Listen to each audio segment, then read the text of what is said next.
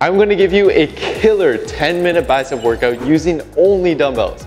We'll use three different training methods that will cut your workout time by a third without sacrificing gains. I'll show you how each of these methods work using science and exactly how to use them to grow your biceps. All right, so here is the 10 minute workout.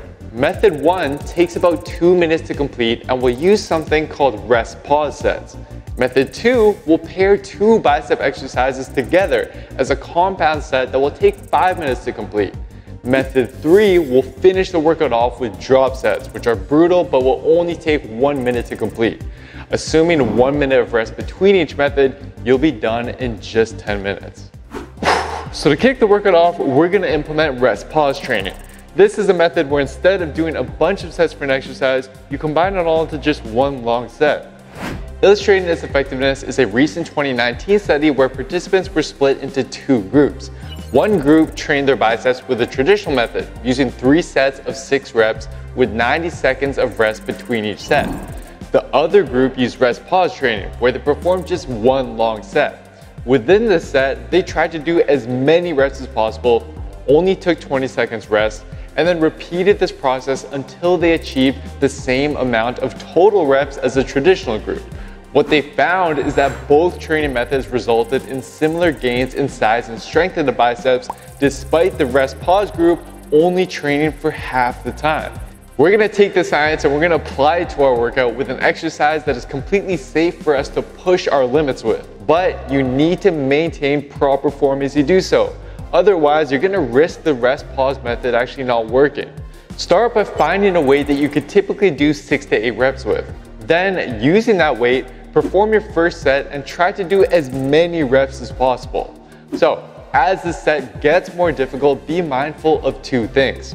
First, keep your elbow locked by your side. Letting it swing forward is going to take tension away from the biceps and onto the front delts instead. A little bit of movement as shown here is perfectly fine, but any more than that is just too much. Second, also be mindful of your wrists. You want to avoid curling the wrists excessively at the top, which is going to cause the forearms to take over. Instead, to maximize the tension on the biceps, keep them neutral and keep your palms facing up even at the bottom. Okay, so once you finish your first rest pause set and can't do any more reps, put the weights down rest for just 20 seconds, and then immediately pick the weights back up, perform another set using that weight for as many repetitions as you can. It's not going to be as many as you could do the first time, but keep repeating this process until you have completed a total of 20 reps. If done correctly, it'll likely take you around four to five mini sets to get a total of 20 reps and would look something like this. All right, method two, compound sets. This is where we take two types of bicep exercises that can be performed back to back without rest. This is possible because the bicep is composed of two heads. There's a short head, which is the inner part of the bicep, and then there's the long head, which is the outer part of the bicep. These two heads have slightly different functions. During bicep curls, where your arm is held in front of the body, the short head is more active and the long head is less active. Whereas the opposite is true for exercises where your arm is held behind the body. We can take advantage of this to save time by performing a compound set of two bicep exercises performed back to back without rest. To perform this compound set, start by setting an adjustable bench up to 30 degrees. This is generally the third or fourth notch on the bench. Then you're gonna go grab a weight that you typically do 10 to 12 reps with for a normal bicep curl. With the dumbbells in hand, lay with your stomach on the bench and your arms hanging down in front of you. You're gonna lock your elbows in that position and then curl the weight up. But as you do so, fight the urge to let your elbows move back towards your body. Instead, keep your upper arm perpendicular to the ground. And then you're gonna do as many reps as you can with good form, ideally somewhere between 8 to 12 reps. Immediately after, we're gonna flip over on the bench, keep the exact same pair of dumbbells, but now position the arms behind the body. Then you're gonna lock your elbows in place and curl the weight up. But in this case, you're gonna be tempted to let your elbow move up closer to the body. Fight this by keeping your upper arm perpendicular to the ground to maximize tension on your biceps. Once again, you're gonna empty the tank on this one by performing as many reps as possible while keeping good form. After doing so, you'll have completed one compound set. take 60 seconds of rest, and then repeat this two more times. Okay, so to finish the workout off, we're gonna use drop sets. This is where you do a bunch of sets without rest, but you actually drop the weight after each set. Ow. Illustrating this effectiveness is a 2017 study where researchers had participants perform curls two different ways. One group used the traditional method of three sets with 90 seconds rest between each set.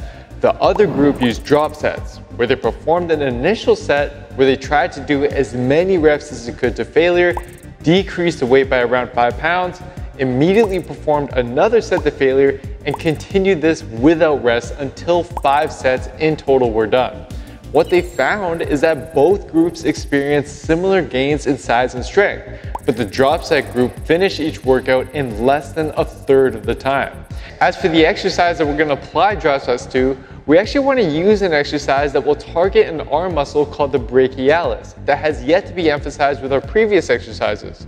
This muscle, it runs under the biceps, but when grown, it can actually help to push up your biceps and create an illusion of a bigger bicep. It can be targeted by using curls where the hand is in a neutral position, such as in a hammer curl, where you hold the dumbbells as if they were hammers. To implement this, start by finding a weight that you can initially do between 15 and 20 reps with. Using that weight, perform one set of hammer curls to failure with good form, keeping the elbow locked in place with minimal swinging. After you can't do any more reps, immediately move to the next lowest set of dumbbells and perform another set to failure. You're gonna repeat this until five, yes five, total sets are completed. It's gonna burn, it's gonna feel nasty, but trust me, it's worth it for the growth. Then you're done. You can see how much more effective your workouts can be if you apply the right science. To apply the same science to all of your workouts, not just your biceps, then head over to builtwithscience.com and take our quiz to find the best program for you and your body. Our system has transformed the lives of thousands all over the world. To learn more about how to grow other muscles like your chest, your shoulders, you can check out these two past videos that I made. Thank you for watching and I'll see you next time.